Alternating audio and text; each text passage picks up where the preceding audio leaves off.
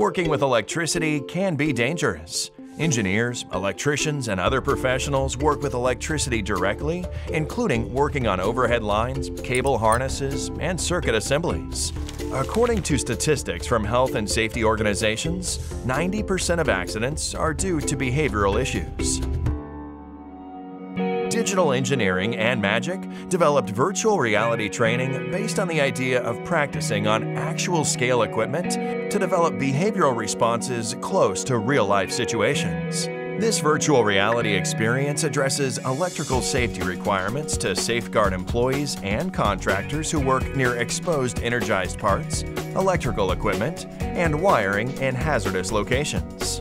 This training will include isolation of energy, hazard identification, premises wiring, distribution panel operations, use of personal protective equipment, and insulated tools.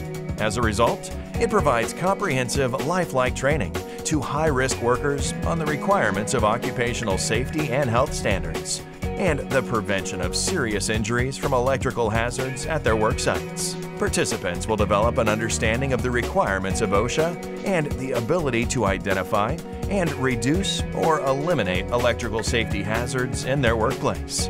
Schedule your demo of the VR training today